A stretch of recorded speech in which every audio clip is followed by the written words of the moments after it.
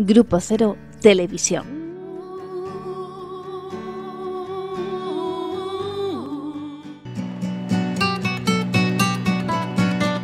No estamos exactamente en ningún sitio. Somos esos arcángeles negros que solo aparecen para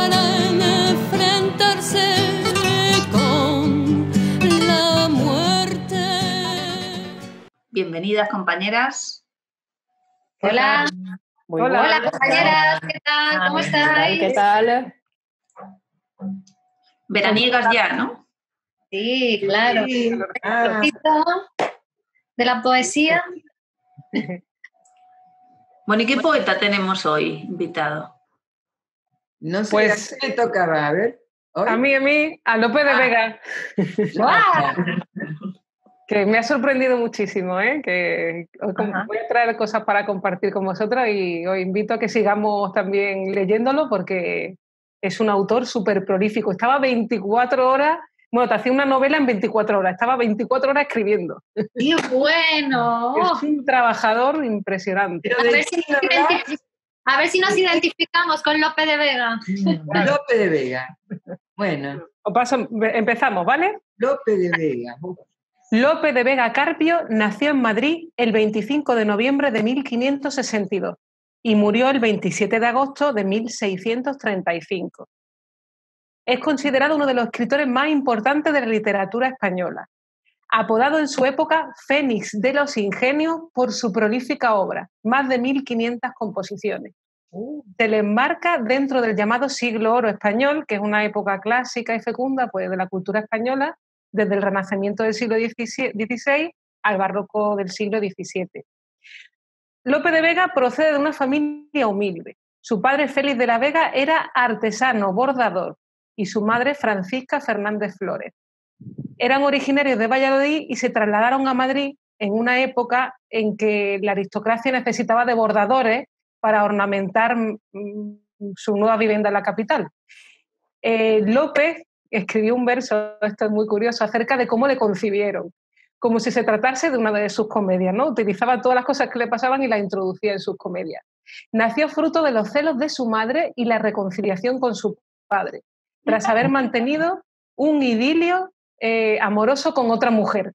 Su madre le buscó y le rescató de los brazos de su amante. Y él dice, siguióle hasta Madrid de celos ciega, su amorosa mujer, porque él quería una española, Elena, entonces griega. Griega, Elena. Sí, No fui yo, no fui yo. Elena con H. señalan los biógrafos que lo que consigue Lope de Vega, la fama siendo un plebeyo, donde solo los nobles podían, era algo insólito. Un hijo de bordador solo podía tener un destino, ser bordador. Eh, él tuvo cuatro hermanos y hermanas, Francisco, Julia, Luisa y Juan, y él nació a 500 metros del Colegio Imperial de los Jesuitas, donde cursaría sus estudios en el año 1574. Pero antes de eso viviría eh, una parte de su infancia con su tío don Miguel de Carpio, que era un inquisidor de Sevilla. A él se le dio una educación que sus hermanas pues, no disfrutaron. Y en esto también quería señalar que las hijas de Lope de Vega no fueron analfabetas, incluso una de ellas, que es la escritora Marcela de San Félix, fue una gran dramaturga, muy aplaudida en su época. Lope de Vega eh, leía latín y castellano ya a los cinco años. A la misma edad compone versos.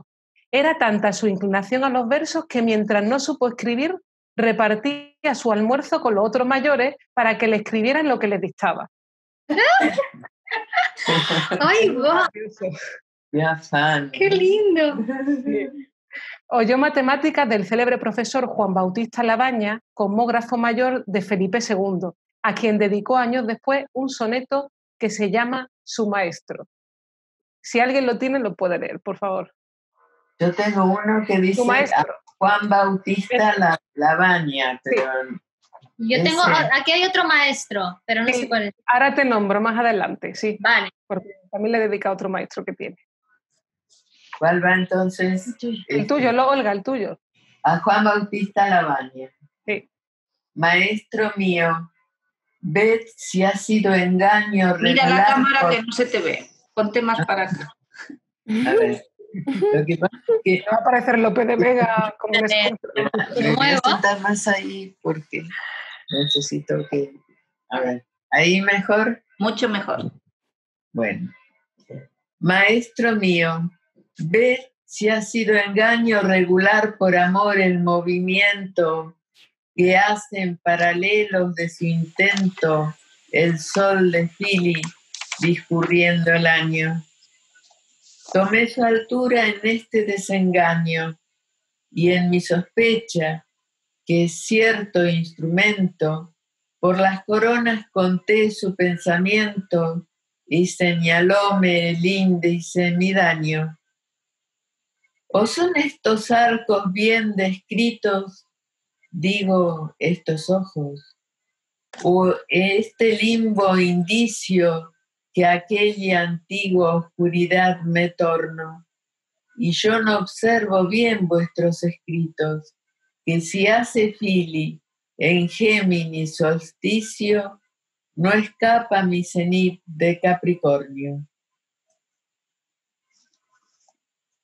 Muy bien. No entendí nada. Sí, Yo tampoco. castellano antiguo, ¿no? A los Bueno, 12 pero años, Se estaba soltando a los 12 años, era como Soy un surrealista. ¿no? ignorante, soy un ignorante, porque seguramente todos estos personajes son significantes. Bueno, perdón. a los 12 años escribe comedias. Su primera comedia sería El verdadero amante, gran pastoral Belarda, escrita en bellísimos versos y dividida en tres jornadas. Fue muy celebrada. La representó el famoso Nicolás de los Ríos, autor o jefe de compañía, uno de los primeros que perfeccionaron las comedias y empezaron a hacerlas costosas de traje y gala, y autor asimismo de algunas piezas dramáticas. También escribió en esa época Lope de Vega La pastoral de Jacinto, Hacia 1573 traduce un verso castellano, en verso castellano el poema de Claudio de Raptu Proserpinae, que dedicó al cardenal Colonna. Acude también a la escuela del poeta y músico Vicente Espinel, en Madrid, al que le dedicó su comedia El caballero de Illescas en 1602 y el soneto Aquesta pluma, célebre maestro. Ese lo tienes tú, Virginia, me parece. Si Al puedes- maestro Vicente Espinel. Sí. Aquesta pluma, célebre maestro, que me pusisteis en las manos cuando los primeros caracteres firmando estaba, temeroso y poco diestro. Mis verdes años, que al gobierno vuestro crecieron, aprendieron e imitando, son los que ahora están gratificando el bien pasado que presente os muestro. La pura voluntad, que no la pluma, porque la vuestra os eterniza y precia en estas letras la destreza extraña. Pero diré que si Mercurio en suma la instruyó en Italia y Cadmo en Grecia, vos nuevamente a la dichosa España.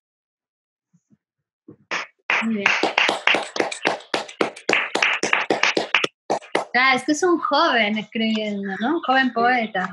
Claro, la dichosa España. No, es del mil- 1500. También. Sí, que ya- Joven o antiguo, ¿no? Pero que hasta López de Vega, ¿no? Fue joven poeta.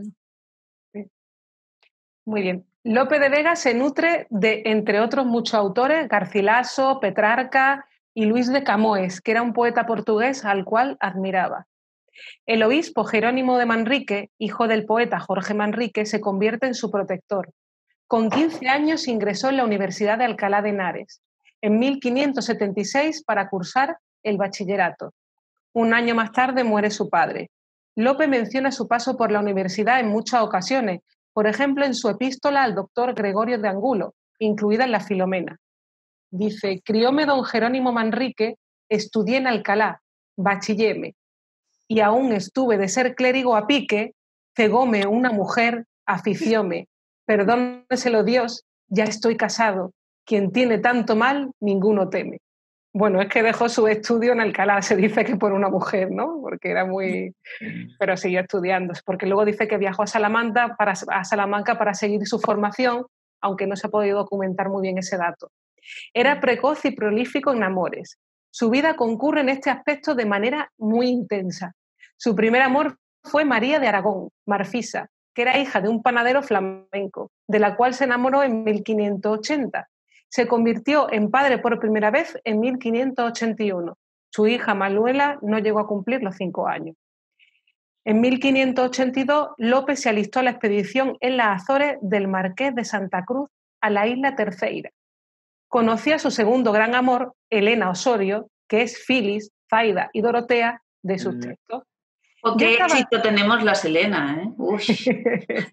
¿Has visto? Ya estaba casada ella. Ella estaba casada con el actor Cristóbal Calderón. Mantuvo una apasionada relación con ella mientras escribía comedias para su padre, que era el empresario teatral Jerónimo Velázquez. Ella enviudó y en lugar de irse con Lope de Vega, entabló relaciones con un rico hombre de negocio. En 1587, Lope comprueba con impotencia cómo esa pasión de su juventud se difumina en pro de otro amante de mayor edad y alcurnia. Lope, resentido, zanjó su acuerdo con Jerónimo Velázquez y escribió libelos y versos difamatorios contra ella y su familia. Estos escritos le valieron ser encarcelado. Y bueno, Lope habla de unas bofetadas que, que comenta en varias comedias, ¿no? Las bofetadas de Lope a su amada son un rasgo recurrente que aparece en su obra y que no podemos afianzar que ocurriera en la realidad. Ficticias o auténticas, las bofetadas que Lope da a Elena en 1587 permanecen en la memoria del escritor y en su creación literaria. La reproduce en tres de sus obras finales, en las novelas Amareta Leonardo, en 1624, en La Dorotea, en 1632, y La Rima de Tomé Burguillo, en 1634. Vamos, que le encantó Sí, sí, le encantó. ese La- recurso. Qué celoso. Lo repitió, ¿no? Además que te dice que la Dorotea está basada en todo el proceso de destrucción y ruina espiritual que la pérdida de Elena Osorio supone para él. Fue en el año 1587 en medio de una representación que se lo llevaron preso. Pero una vez en prisión siguió escribiéndolo, lo que le llevó al destierro de la corte y del reino de Castilla durante cuatro años. Me parece, me parece que tú tienes, Norma, lo, e- eso... Tengo poemas contra Elena Osorio. Dice. Esos son por los que lo desterraron. Es un tierno, este, se emociona por cualquiera. Bueno, dice, lo que algún tiempo tuviste, noticia del lavapiés, de hoy más sabed que su calle no lava, que sucia es, que en ella hay tres damas, que hacer cuatro como tres pudieran tales columnas hacer un burdel francés. Es puta de dos y cuatro, y a mí me dijo un inglés que, le, que la vio sus blancas piernas por dos varas delante. A cuantos piden su cuerpo se lo da por interés, hizo profesión de puta, ved qué convento de Uclés. Una dama se vende a quien la quiera, en Almodena, Almoneda está, ¿quieres comprarla? Su padre es quien la vende, que aunque calla, su madre la sirvió de pregonera.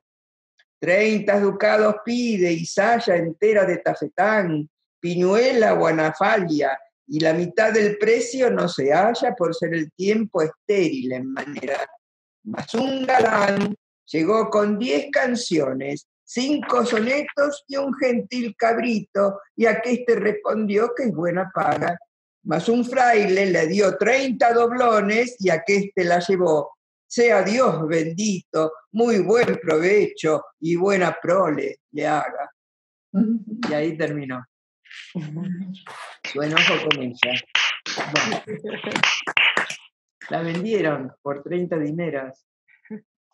Buena prole.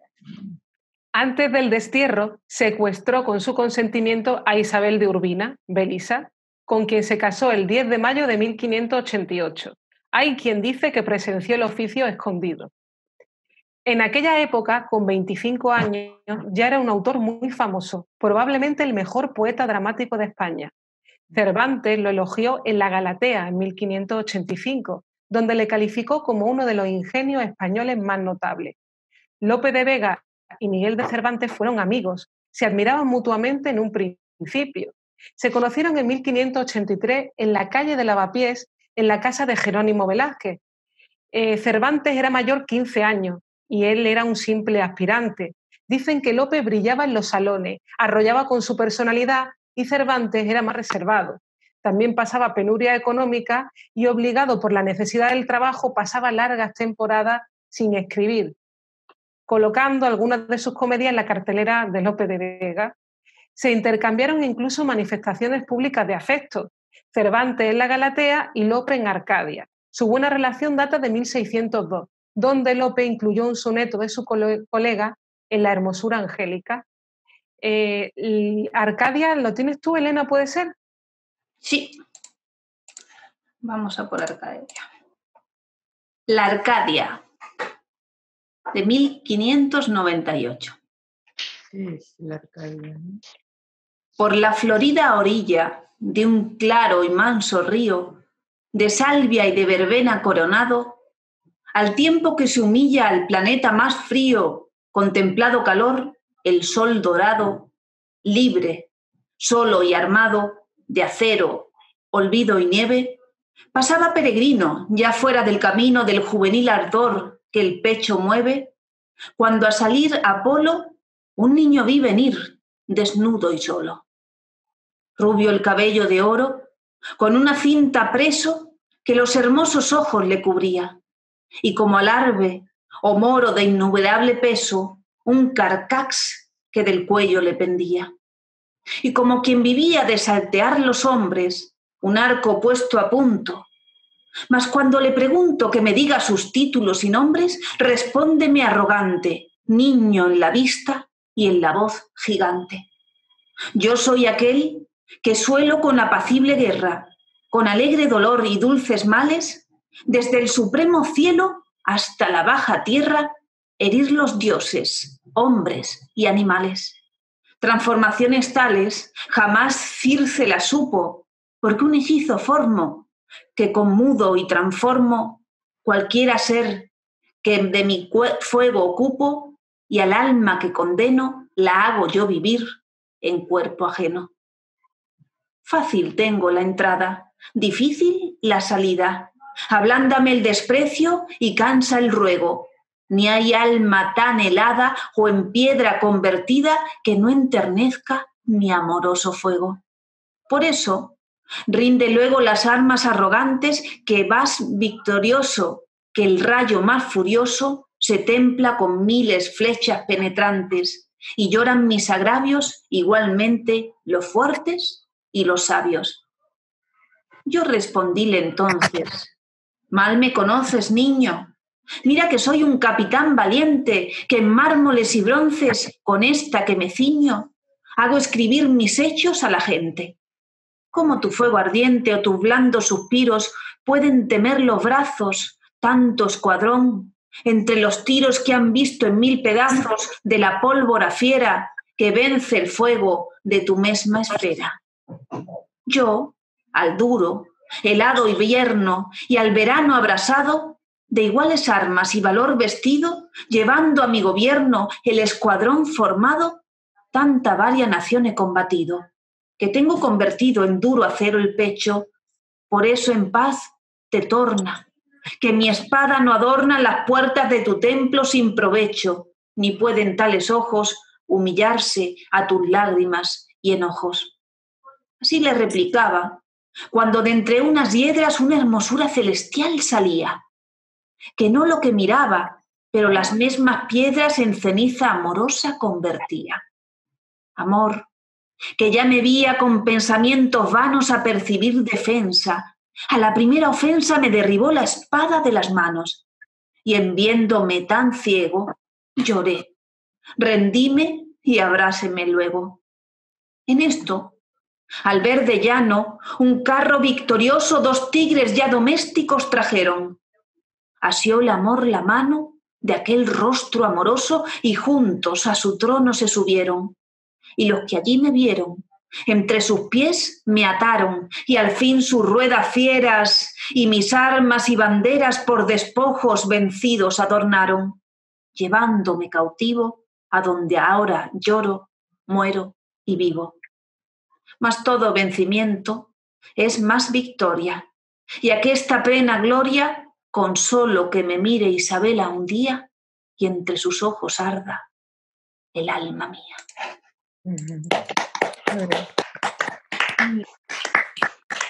Qué apasionado. Pareciera una pugna de Cervantes y Lope de Vega entre el romanticismo o el mercado. Pero en la primera parte del Quijote, publicada en 1605, se reconoce la crítica de Cervantes contra Lope de Vega, ¿no? A raíz de ya empieza su enemistad. En su prólogo, por ejemplo, Cervantes critica las exhibiciones de erudición y doctrina que Lope hizo en su obra, diciendo: Salgo ahora con todos mis años a cuesta, con una leyenda seca como un esparto, ajena de invención, menguada de estilo, pobre de conceptos y falta de toda erudición y doctrina, sin acotaciones en los márgenes y sin anotaciones en el fin del libro, como veo que están otros libros, aunque sean fabulosos y profanos, tan llenos de sentencias de Aristóteles, de Platón y de toda la caterva de filósofos que admiran a los leyentes y tienen a sus autores por hombres leídos, eruditos y elocuentes. Cervantes no fue comprendido en su época, ¿no? Además tenía esa cosa de un poco de envidia, ¿no? Hacia Lope de Vega. Cervantes se refirió a él como el monstruo de la naturaleza, que, dice, alzóse con la monarquía cómica, avasalló y puso debajo de su jurisdicción a todos los farsantes. Y Lope de Vega le dice a Cervantes, de poetas muchos están en ciernes para el año que viene, pero ninguno hay tan malo como el Cervantes, ni tan necio que alabe a Don Quijote. Cervantes pone fin a su amistad diciéndole, hermano Lope, bórrame el soné y versos de Ariosto y Garcila, y la Biblia no tomes en la mano, pero nunca a la, a la Biblia dicesle. Los insultos y las acusaciones entre escritores eran frecuentes en la época. Eran enfrentamientos agresivos cargados de ironía y de sarcasmo. Con Góngora también protagonizó una contienda reflejada en sus versos. Cle, me parece que tienes tú a Góngora, ¿no? bueno, los versos que le, le dice a Góngora. Muy bien. Eh, la voz. Sonetos a Góngora. Pululando de culto, Claudio amigo, minotaurista soy desde mañana. De relinco la frase castellana, vayan las solitudines conmigo. Por precursora desde hoy más me obligo a la aurora llamar Bautista o Juana, chamelote la mar, la ronca rana, mosca del agua y sarna de oro al trigo. Mal afecto de mí, conterio y murrio. Cáligas diré, cáligas diré ya, que no gri, griguiscos como en el tiempo del pastor Bandurrio. Estos versos son turcos o tudescos. Tú, lector Caribay, si eres bamburrio, apláudelos, que son cultidiablescos. Ah, Góngora le dice todo eso. Tienes otro también, ¿no? A la muerte de Góngora. A ver. Pues a la muerte de don Luis de Góngora.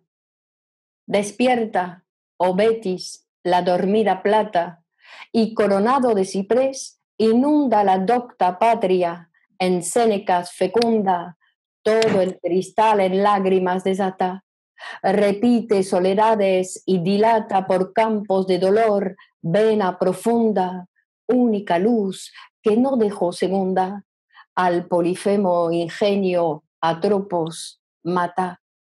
Góngora, ya la parte restituye mortal al tiempo, ya la culta lira en clausura final la voz incluye, ya muere y vive, que esta sacra pira tan inmortal honor le constituye, que nace fénix donde cisne expira.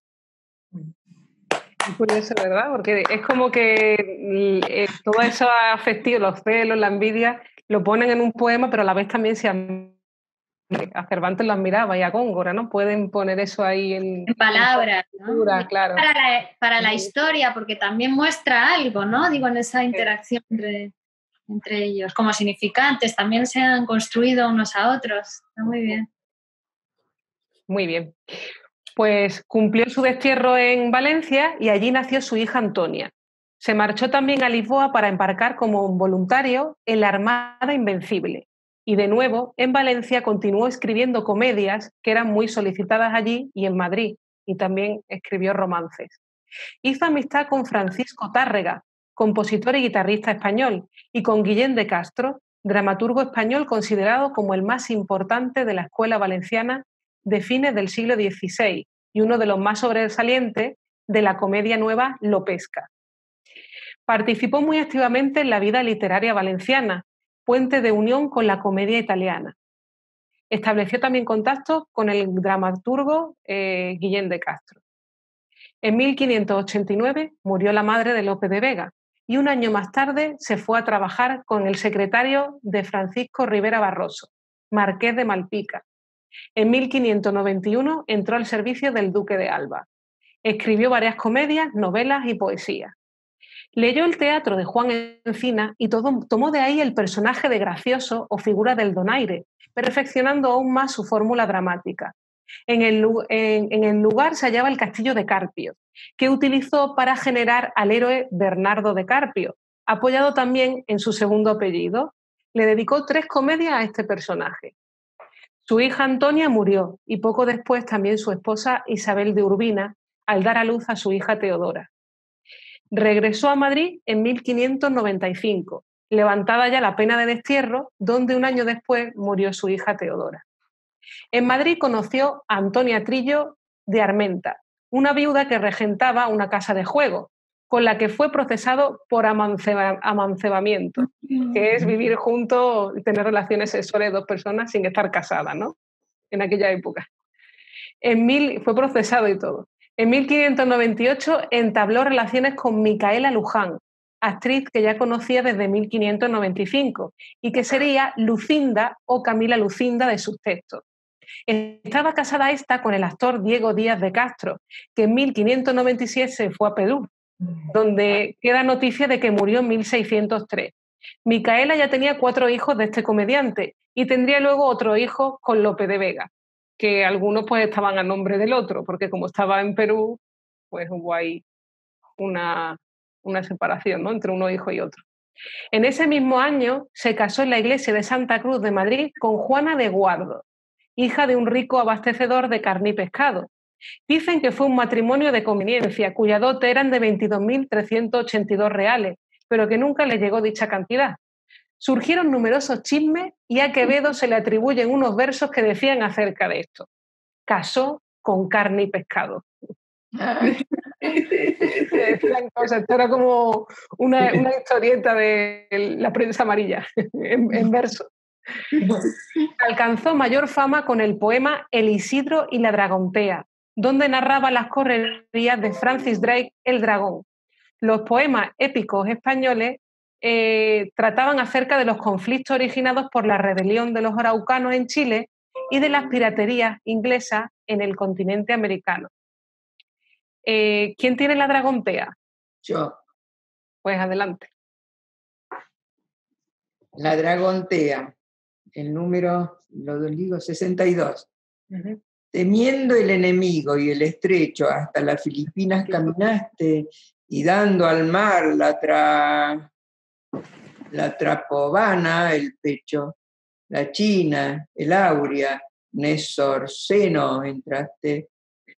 Luego el león y su furor deshecho del océano la esperanza hallaste, puesto en su cabo a tu esperanza cabo y a la fortuna de oro hartado un clavo. Tras esto por la costa de Guinea al África pasaste, extraño vuelo, que el mundo que en un año el sol pasea, viste en la mar como él corriendo el cielo. ¿Quién hay que vuelto a Inglaterra crea tu viaje, tu grande empresa y celo? Más poco entonces de contar la trata, ocupada en contar tanto oro y plata. Pues mira, si es razón que te recuerde cuando robaste con tu inglés amada y con tanto valor a Cabo Verde, antiguamente Espérida llamada, que de Santo Domingo no se pierde la memoria en las islas, en las Indias lamentada, y el robo de la nueva Cartagena, que de inglés Sipión estaba ajena. De La Coruña el cerco y de Lisboa conducido del triste don Antonio, que si esta hazaña no se estima y loa, de tu valor ha dado testimonio, ¿dónde has puesto jamás la vista y proa? Oh, tú, nuevo Alejandro Macedonio, que no te siga próspero eh, suceso, Hércules, Hércules eres ya del inglés peso. De ahí terminó. Muy bien. Lucinda, ¿lo tiene alguien? Sí. ¿Cuál? Lucinda. Lucinda, el alma, pluma y lengua mía. De rimas. Ah, Ya no quiera más bien que solo amaros, ni más vida, Lucinda, que ofreceros, la que me dais cuando merezco veros, ni ver más luz que vuestros ojos claros. Para vivir me basta desearos, para ser venturoso conoceros, para admirar el mundo, engrandeceros, y para ser eróstrato, abrazaros. La pluma y lengua respondiendo a coros, quieren al cielo espléndido subiros, donde están los espíritus más puros, que entre tales riquezas y tesoros, mis lágrimas, mis versos, mis suspiros de olvido y tiempo vivirán seguros. Un poema de amor. Qué bonito. Ah, para el recital de poemas de amor, Sí. ¿Y el poema Micaela Luján? lo tengo yo. Vale. A Micaela Luján, su amante, en 1602, de rimas 1602, soneto 12.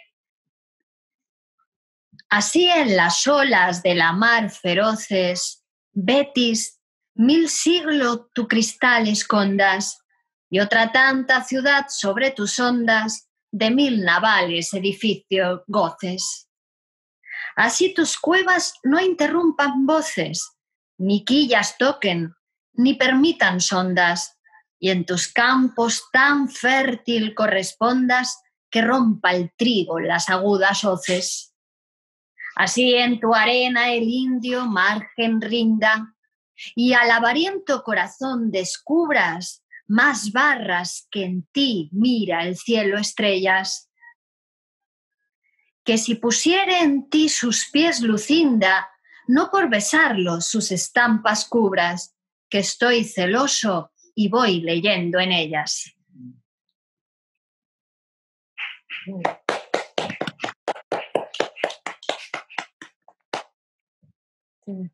En 1598, Felipe II, al borde de la muerte, decretó el cierre de los teatros por razones de moralidad. Entonces Lope de Vega tuvo que buscarse el sustento como secretario. Recordemos que el primero fue el Marqués de Malpica.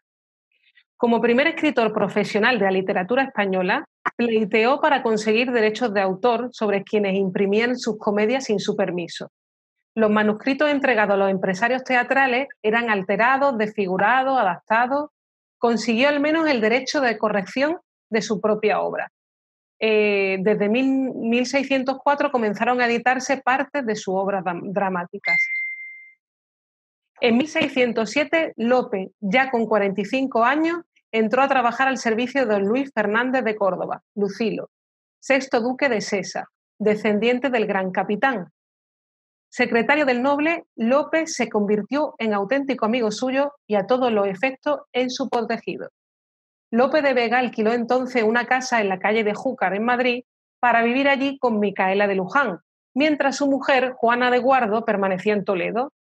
De Juana de Guardo también nacieron tres hijas y un hijo, Carlos Félix. Tenía hijos por todos lados. Fértil era este hombre para todo, ¿eh? Lope de Vega es considerado el creador del Teatro Nacional y de la llamada Comedia Nueva, cuyos principios recoge en el arte nuevo de hacer comedias. En este tiempo de 1609 fue un primer manifiesto del teatro moderno. Sus composiciones rompieron con el teatro renacentista clásico gracias a que usó la polimetría y el empleo del lenguaje accesible al pueblo, creando un estilo propio. Creó personajes como el rey, el villano, la dama, la figura del gracioso, como contrapunto del héroe grave. Eh, me parece que lo tienes tú, Cruz, leer Arte Nuevo.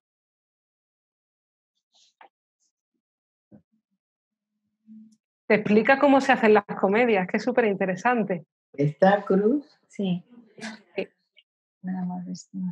Hola, estoy. oye? Ahora, sí. Arte nuevo de hacer comedias en este tiempo. Fragmento. En el acto primero ponga el caso, en el segundo enlace los sucesos, de suerte que hasta el medio del tercero apenas juzgue nadie en lo que para. Engañe siempre el gusto y donde vea que se deja entender alguna cosa, de muy lejos de aquello que promete. Acomode los versos con prudencia los sujetos de que va tratando. Las décimas son buenas para quejas. El soneto está bien en los que aguardan. Las relaciones piden los romances, aunque octavas lucen por extremo. Son los tercetos para cosas graves y para las de amor, las redondillas. Las figuras retóricas importan como repetición o anadiplosis y en el principio de los mismos versos aquellas relaciones de la anáfora, las ironías y adubitaciones, apóstrofes también y exclamaciones. El engañar con la verdad es cosa que ha parecido bien, como lo usaba en todas sus comedias Miguel Sánchez. Digo, por la invención de esta memoria. Siempre el hablar equívoco ha tenido, y aquella incertidumbre anfibológica, gran lugar en el vulgo, porque piensa que él solo entiende lo que el otro dice. Los casos de la honra son mejores, porque mueven con fuerza a toda gente con aquellos las acciones virtuosas que la virtud es donde quiera amada, pues que vemos si acaso un recitante hace un traidor. Es tan odioso a todos que lo que va a comprar no se lo vende y huye el vulgo de él cuando lo encuentra. Y si es leal, le prestan y convidan, y hasta los principales le honran y aman, le buscan, le regalan, le aclaman. Tenga para cada acto cuatro pliegos solos, que doce están medidos con el tiempo y la paciencia del que está escuchando. En la parte satírica no sea claro ni descubierto, pues que sabe que por ley se vedaron las comedias por esta causa en Grecia y en Italia. Pique sin odio, que si acaso infama, ni espere aplauso, ni pretenda fama. Estos podéis tener por aforismos los que del arte no tratáis antiguo, que no da más lugar ahora el tiempo, pues lo que les compete a los tres géneros del aparato que Vitruvio dice, toca al autor como Valerio Máximo, Pedro, Critino, Quirinito, Horacio en sus epístolas y otros los pintan con sus lienzos y árboles, cabañas, casas y fingidos mármoles.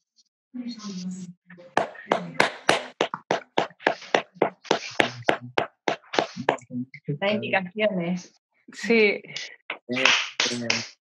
En 1610 ingresa en la congregación de esclavos del Santísimo Sacramento y compra su casa donde vivió hasta su muerte.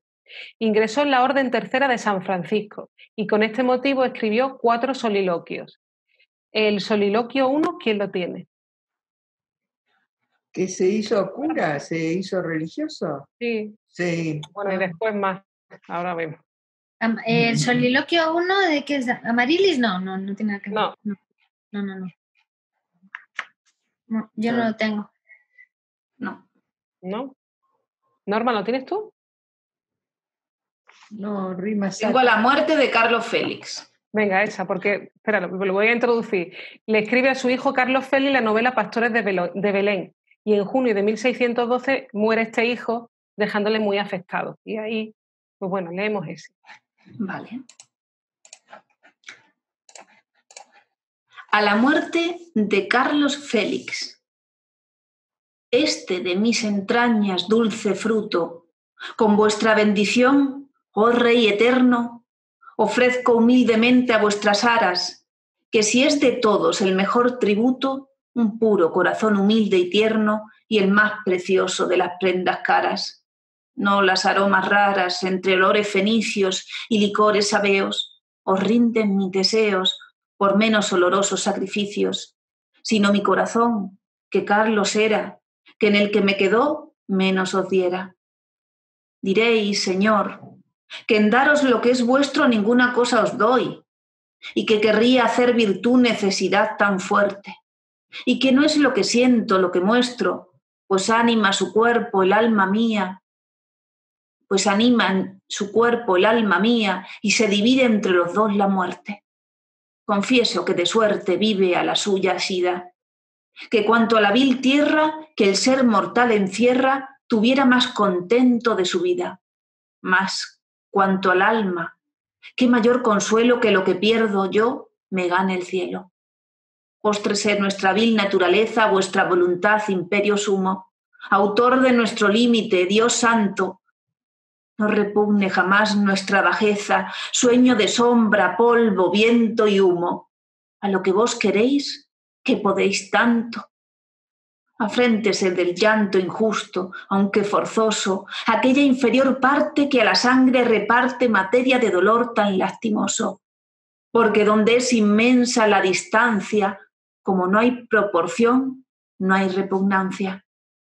Quisiera yo lo que vos, pues no es posible no ser lo que queréis, que no queriendo saco mi daño a vuestra ofensa junto. Justísimo sois vos. Es imposible dejar de ser error lo que pretendo, pues es mi nada invisible punto. Si a los cielos pregunto vuestra circunferencia inmensa, incircunscrita, pues que solo os limita con margen de piedad vuestra clemencia, oh guarda de los hombres, yo que puedo a dónde tiembla el serafín de miedo. Amábamos, yo, Señor, luego que abristes mis ojos a la luz de conoceros y regalóme el resplandor suave. Carlos, fue mi tierra, eclipse padecisteis, divino sol, pues me quitaba el veros opuesto como nube densa y grave. Gobernaba la nave de mi vida aquel viento, de vuestro auxilio santo por el mal de mi llanto al puerto del eterno salvamento. Y cosa indigna, navegando, fuera que rémora tan vil me detuviera. Oh, como justo fue que os ofreciese mi alma impedimentos para amaros, pues ya por culpas propias me detengo.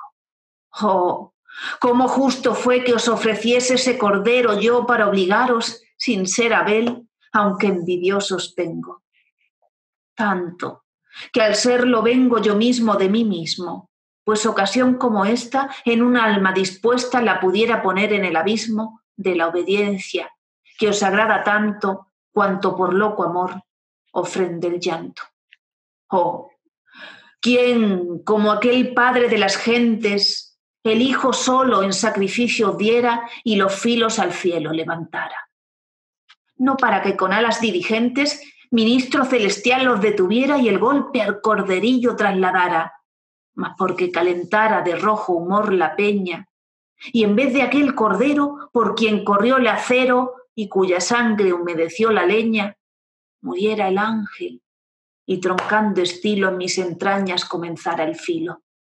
Y vos, dichoso niño, que en siete años que tuvisteis de vida no tuvisteis con vuestro padre inobediencia alguna. Corred con vuestro ejemplo mis engaños, serenad mis paternos ojos tristes pues ya soy sol donde pisasteis luna. De la primera cuna a la postrera cama, no disteis sola una hora de disgusto. Y ahora parece que le dais, si así se llama lo que es pena y dolor de parte nuestra, pues no es la culpa, aunque es la causa vuestra. Cuando tan santo os vi, cuando tan cuerdo, conocí la vejez que os inclinaba a los fríos umbrales de la muerte. Luego lloré lo que ahora gano y pierdo y luego dije, aquí la edad acaba porque nunca comienza de esta suerte. ¿Quién vio rigor tan fuerte y de razón ajeno, temer por bueno y santo lo que se amaba tanto? Mas no os temiera yo por santo y bueno, si no pensara el fin que prometía quien sin el curso natural vivía.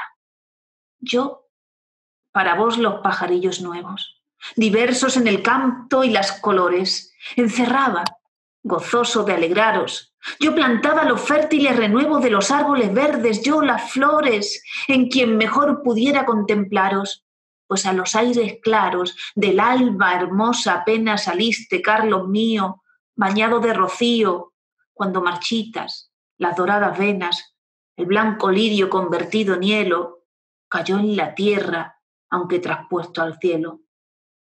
Oh, qué divinos pájaros ahora, Carlos, gozáis, que con pintadas alas discurren por los campos celestiales en el jardín eterno, que atesora por cuadros ricos de doradas alas más hermosos jacintos orientales, a donde los mortales ojos la luz excede. Dichoso yo que os veo donde está mi deseo, y donde no toco pesar ni puede, donde no tocó pesar ni puede, que solo con el bien de tal memoria toda la pena me trocáis en gloria. ¿Qué me importara a mí que os viera puesto a la sombra de un príncipe en la tierra? Pues Dios maldice a quien en ello fía, ni aun ser el mismo príncipe compuesto de aquel metal del sol del mundo guerra que tantas vidas consumir porfía. La breve tiranía, la mortal y hermosura, la ambición de los hombres, con títulos y nombres, de la lisonja idolatrar, procura. Al expirar la vida, ¿en qué se vuelven si al fin en el principio se resuelven? Hijo, pues, de mis ojos, en buena hora vais a vivir con Dios eternamente y a gozar de la patria soberana.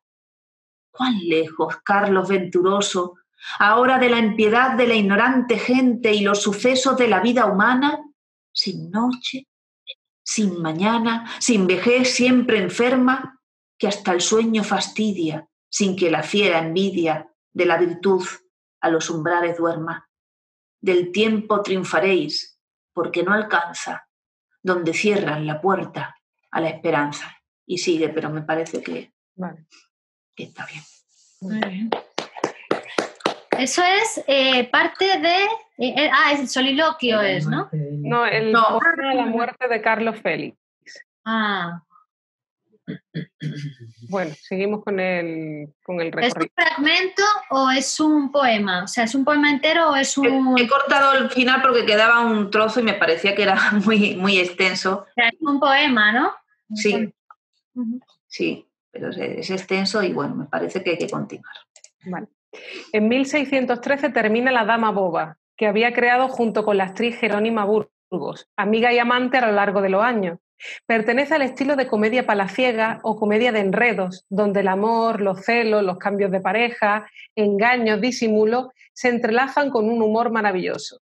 El conflicto que se espera de ella, representado en los extremos de lo que debía ser una mujer ideal de su época, se hace pasar por una por boba y otra por pedante. Escribió también El perro del, hortelano, ¿no? también como una crítica a las convenciones sociales, ¿no? también era muy crítico en lo social.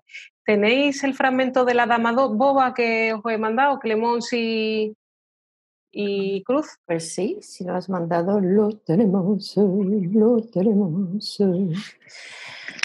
Entonces, eh, Cruz, tienes micro cortado. Octavio, fragmento de la dama boba, escena 9. Es una conversación entre Octavio y Finea.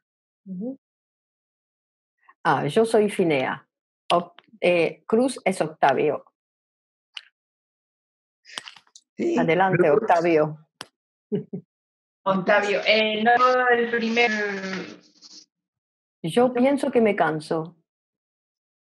Le comienzo hasta. Yo te aviso. ¿Cómo, cómo?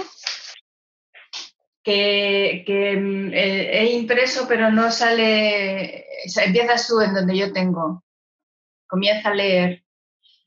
Entonces, Octavio empieza y dice, yo pienso que me canso en enseñarla, porque es querer labrar con vidro un pórfido.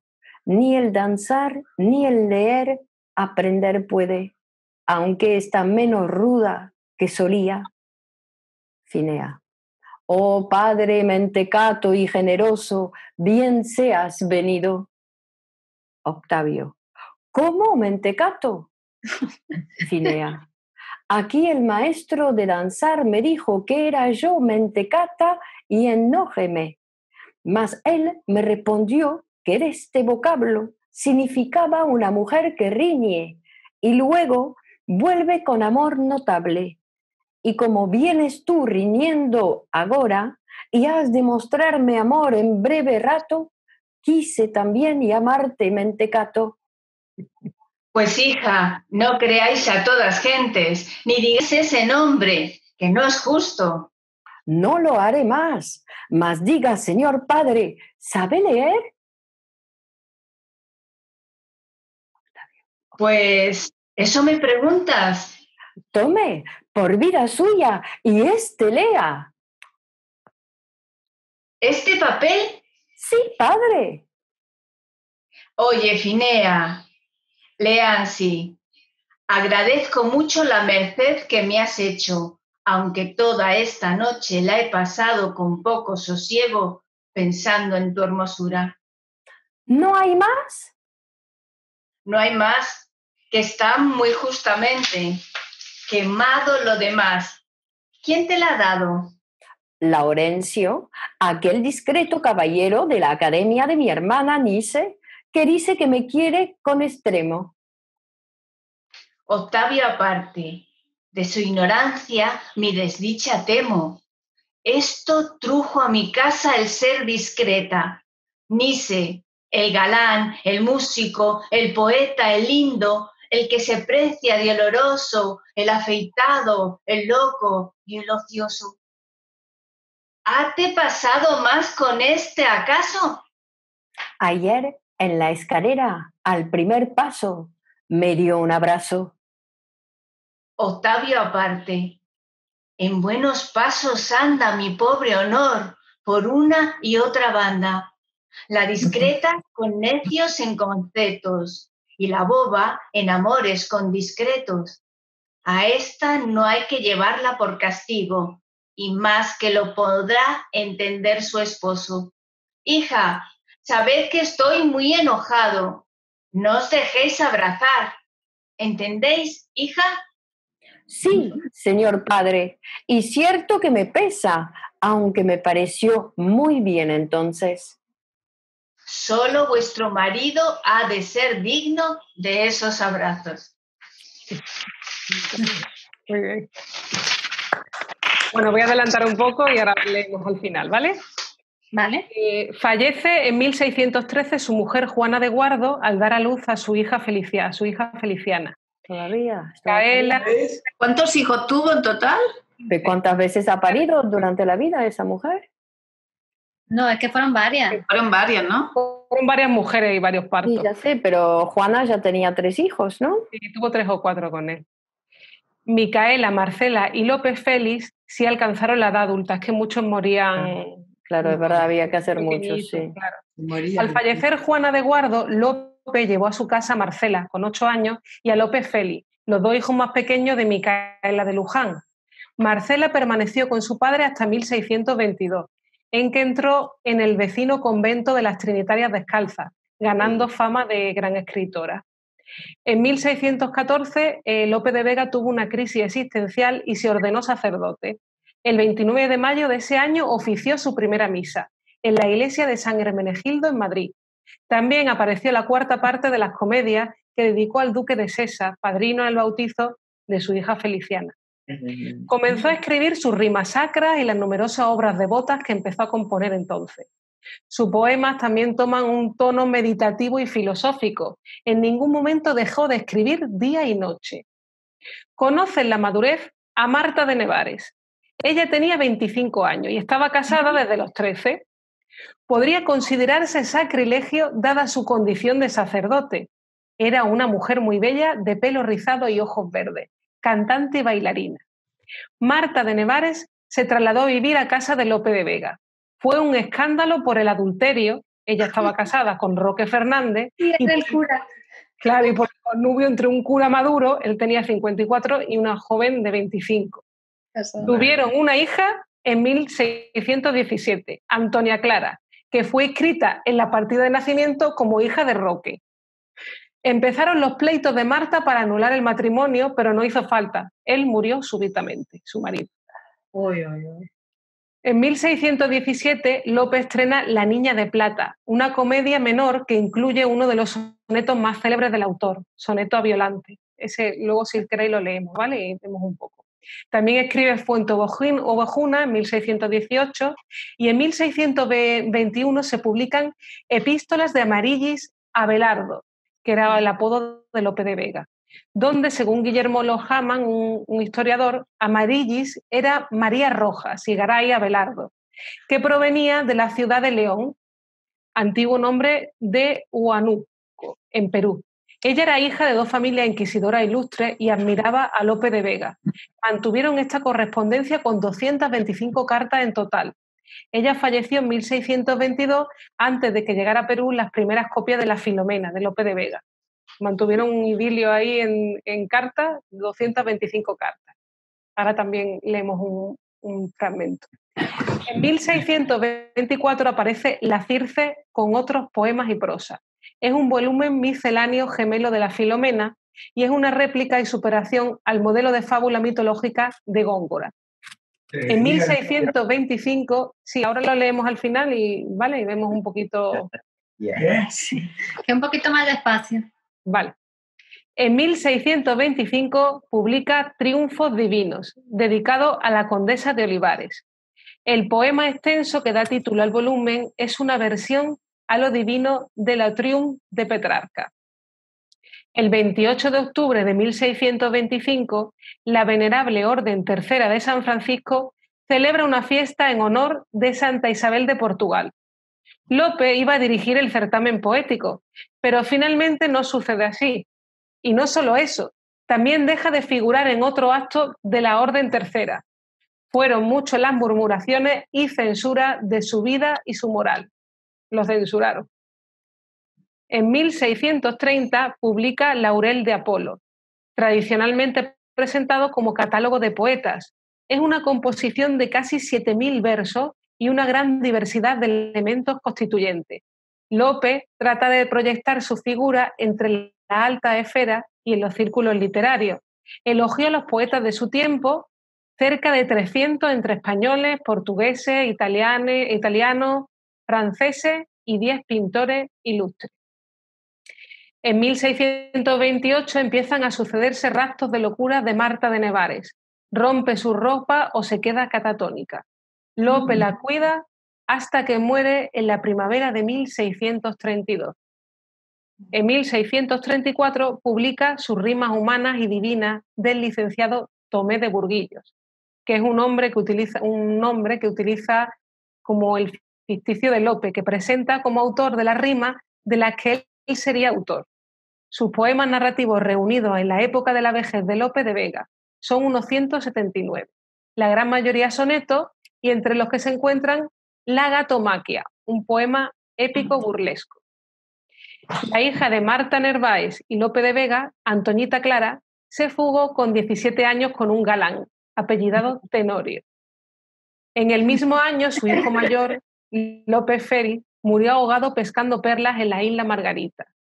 La égloga Calaudio ha sido vista por la crítica como un texto en donde el poeta realiza un inventario de parte de su obra, reflexiona sobre los últimos momentos de su vida y reclama un reconocimiento como autor no dramático al tiempo que polemiza con los nuevos modos de hacer teatro y de hacer poesía. Los versos son dirigidos por López a su amigo Claudio, Claudio Conde, y fue compuesta probablemente en enero de 1632 y apareció dentro de la póstuma La Vega del Parnaso en 1637. Es una obra fundamental del último López, cuando ya se ha desengañado de sus últimas y vehementes ilusiones. Él quería alcanzar el cargo fijo de capellán del duque de Sesa o ser cronista de Felipe IV, pero no lo consiguió. Murió López de Vega en 1635, ¿no? Veis que se publica La Vega del Parnaso después. Gregorio, Marañón, en el prólogo de su libro Dragontea, escribe, el 27 de agosto de 1635 murieron con Lope de Vega sus pasiones, broncas y sus pecados humanísimos. Este mismo día volvió a nacer ya purificado para la inmortalidad. Él lo sabía mejor que nadie y sin duda pensaba en sí mismo al escribir la Dragontea. Para morir nacemos y después de la muerte viviremos. Sobre Lope de Vega se han escrito muchos libros, de forma que ha llegado a desarrollarse una rama entera de la filología hispánica, el lopismo. Él renovó fórmulas del teatro español, siendo el teatro en aquella época un fenómeno cultural de masa. Junto a Tirso de Molina y Calderón de la Barca, fueron los máximos exponentes del teatro barroco español. Sus obras se siguen representando hoy día y constituyen una de las más altas cotas alcanzadas en la literatura y arte española. Se le atribuyen unos 3.000 sonetos, tres novelas, cuatro novelas cortas, nueve epopeyas, tres poemas didácticos y centenares de comedias. En total, unas 1.500, unas 1500 producciones. Entre las obras más importantes de Lope de Vega están Fuente Ovejuna, El perro del horterano, Amarillis, El caballero de Olmedo, Peribáñez y El comendador de Ocaña, El castigo sin venganza, El mejor alcalde del rey y bueno, tiene las famosas comedias de capa y espada, son basadas en la intriga de acción amorosa. Y los más conocidos también tratan problemas de abusos por parte de los nobles, de situaciones frecuentes en el caos político de la España de ese siglo, del siglo XV, y, bueno, es, un, es una, también un reclamo social, ¿no? Probablemente sea el, el autor más célebre que se ha llevado decenas de veces en la escena del cine y del teatro él escribía comedias en 24 horas y se dijo que tenía discípulos escribiendo para él, dada su gran capacidad de trabajo, pero ha sido desmentido por estudios biográficos donde se hicieron pruebas de, grafomanía y se verifica su letra. ¿no? Es, era aclamado por el público teatral tanto en las corralas como en la aristocracia y también en los mendigos. Y bueno, tuvo 15 hijos documentados, dos mujeres e innumerables amantes, llegó a decir que su mayor defecto era el amor. Y bueno, si queréis pasar a leer algunos, así que, que tengáis. ¿De amor? Venga. No tengo nada.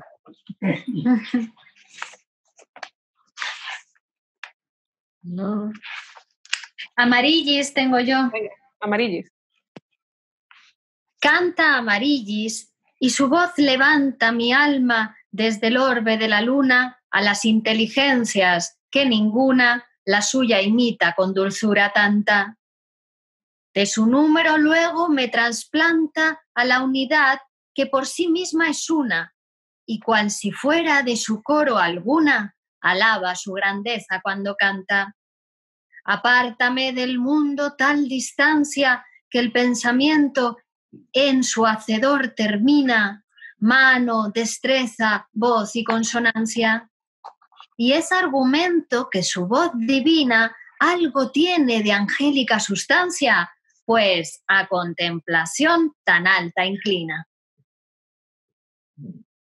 mira. Ah. Olga, ¿tienes ir y quedarse y con quedar partirse? Ah, estaba mirando soneto violante. Ah, vale, también. ¿Un soneto me manda a ser violante? pero como que, sí, Ah, es muy conocido. Un soneto me manda a ser violante y en mi vida me he visto 14 versos dicen que soneto ronda rondando van los tres ¡Ah, qué Muy buena bien. Yo pensé que no aliara consonante y estoy a la mitad de otro cuarteto. Mas si me veo en el primer terceto, no hay cosa en los cuartetos que me espante. Por el primer terceto voy entrando y parece que entré con pie derecho, pues fin con este verso le voy dando.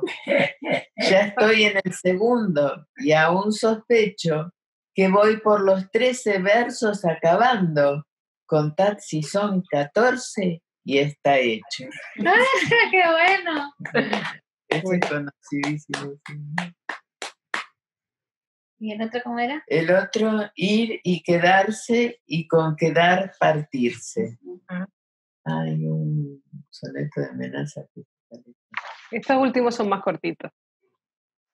Ir, ir y quedarse, y con quedar partirse, partir sin alma e ir con alma ajena, oír la dulce voz de una sirena y no poder del árbol desasirse, arder como la vela y consumirse, haciendo torres sobre tierra arena, caer de un cielo y ser demonio en pena, y de serlo jamás arrepentirse. Hablar entre las mudas soledades, pedir pues resta sobre fe paciencia, y lo que es temporal llamar eterno. Caer, creer sospechas y negar verdades es lo que llaman en el mundo ausencia, fuego en el alma y en la vida infierno. Oh. Y pero dar Fue mejorando con el tiempo. Los sonetos que fue mejorando con el tiempo. Los sonetos le cabían muy bien. Encontró algo ahí, ¿no? Yo tengo un soneto a la noche. Venga. A ver. Noche, fabricadora de embelecos, loca, imaginativa, quimerista, que muestras al que en ti su bien conquista los montes llanos y los mares secos. Habitadora de cerebros huecos, mecánica, filósofa, alquimista, encubridora mil, lince sin vista, espantadiza de tus mismos ecos. La sombra, el miedo, el mal se te atribuya, solícita, poeta, enferma, fría, manos del bravo y pies del fugitivo. Que vele o duerma, media vida es tuya. Si velo, te lo pago con el día. Si duermo, no siento lo que vivo. Muy bien. Lemón, ¿quieres decir quién, quién mata con más rigor? Que ese es muy conocido también. Me lo mandaste dos veces, así que... ¿Algún mensajito, alguna indirecta? ¿Quién sabe? ¿Quién mata con más rigor? ¿Quién mata con más rigor? ¿Quién? Amor. No, perdón, perdón, perdón. ¿Quién mata con más rigor? Amor. ¿Quién causa tantos desvelos? Celos. ¿Quién es el mal de mi bien? Desdén. Que más que todos también una esperanza perdida, pues que me quitan la vida, amor, celos y desdén. ¿Qué fin tendrá mi osadía? Porfía. ¿Y qué remedio mi daño? Engaño. ¿Quién es contrario a mi amor? Temor. Luego es forzoso el rigor y locura el porfiar, pues mal se pueden juntar porfía, engaño y temor. ¿Qué es lo que el amor me ha dado? Cuidado. ¿Qué es lo que yo le pido? Olvido. ¿Qué tengo del bien que veo? Deseo. Si en tal locura me empleo, que soy mi propio enemigo, presto acabarán conmigo. Cuidado, olvido y deseo. Nunca mi pena fue dicha, desdicha. ¿Qué guarda mi pretensión? Ocasión. Quien hace amor resistencia, ausencia. pues ¿dónde hallará paciencia, aunque a la muerte le pida, si me han de acabar la vida, desdicha, ocasión y ausencia? Bien. Qué juguetón, qué juguetón. Jugando con las palabras. Túrbase el poeta de verse favorecido. Dormido Manzanares discurría en blanda cama de menuda arena, coronado de juncia y de verbena que entre las verdes alamedas cría, cuando la bella pastorcilla mía, tan sirena de amor como serena, sentada y sola en la ribera amena, pedirle yo que el cuello, no, perdón, sentada y sola en la ribera amena, tanto cuanto lavaba nieve hacía, pedirle yo que el cuello me lavase y ella sacando el rostro del cabello me dijo que uno de otro me quitase, pero turbado de su rostro bello, al pedirme que el cuello le arrojase, así el alma por asir el cuello.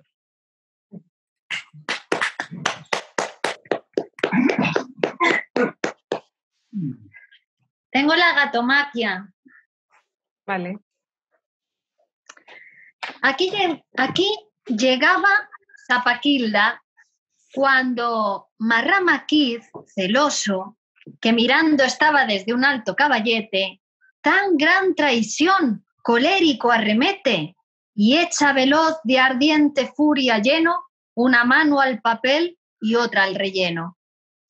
Garraf se pasma y queda sin sentido, como el que oyó del arcabuz el trueno, estando divertido.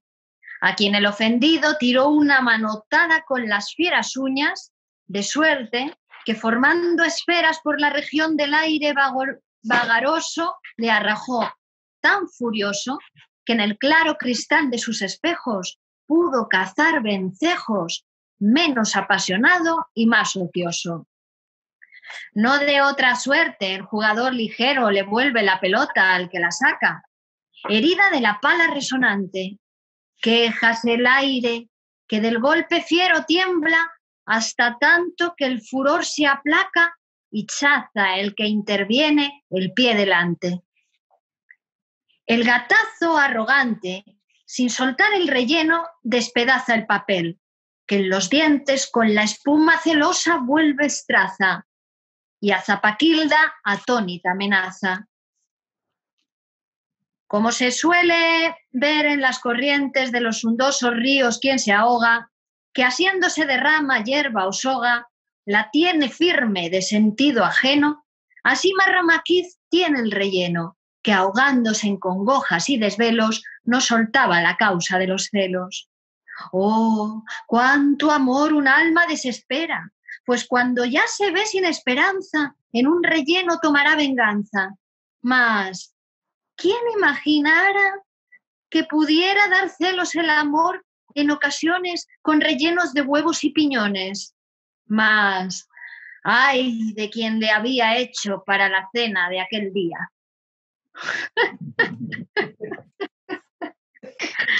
Muy divertido. Receta de cocina casi. Que tienen que terminar. ¿eh? Bueno, Aquí hay una persona.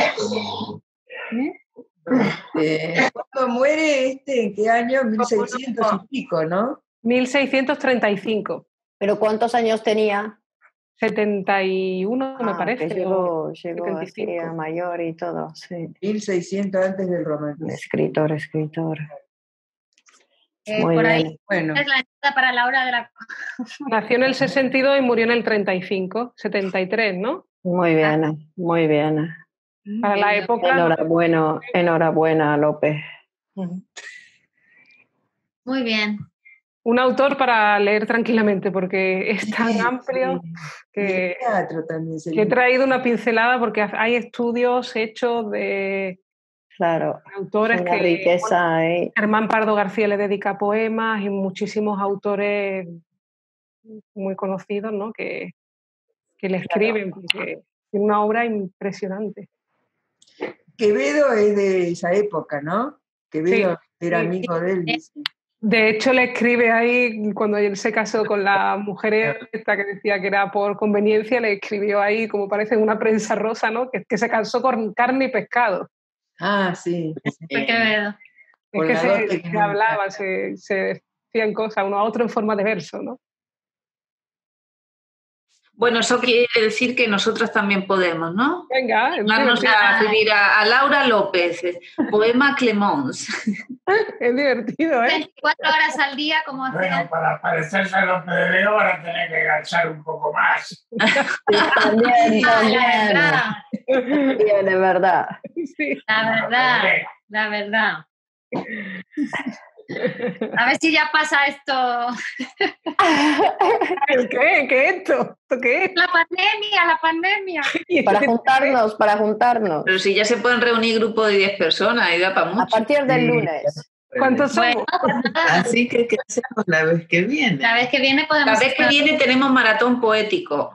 Ah, Ah, Nuestro horario de grabación se modifica, no el de emisión del programa, evidentemente, pero tenemos maratón poético. El lunes. El, El, el próximo domingo. bueno, Bueno, pero para gra- la grabación ya podemos reunirnos, si queréis. Sí, por supuesto, ya luego fuera de cámara nos organizamos. Nosotros hoy nos despedimos. ¿Qué? ¿Eh? 20 poemas de amor y una canción de desesperada. Neruda. Neruda. Sí. Muy bien, ¿eh? Tenemos trabajo ahora para el próximo maratón. Bueno, me voy a ir a escribir que no he hecho nada del Martín Fierro.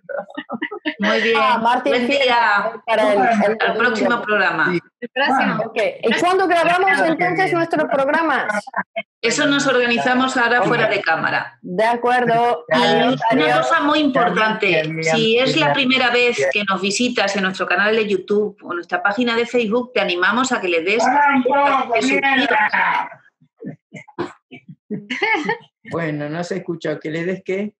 Que se suscriba a nuestro canal de YouTube y a la página de Facebook para estar al día de todas las novedades, que no solo hacemos poesía más poesía, que hacemos un montón de cosas que seguro que te ayudan a limpiar tu mente de inútiles. Bueno, muy bien. De un besito. Un besito. Hasta la próxima. Chao, chao. Hasta luego.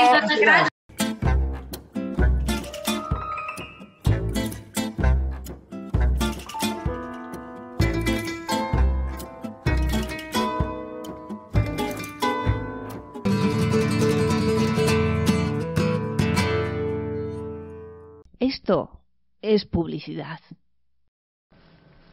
Todo lo que amaba está muerto.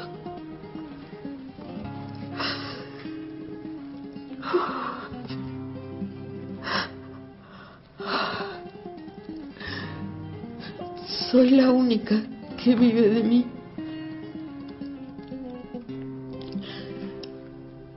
Por eso vine a verlo.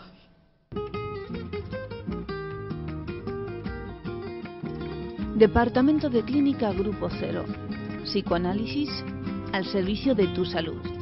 Te atendemos en Madrid y también en las consultas online. Llámanos al teléfono 91 758 1940. Esto es publicidad.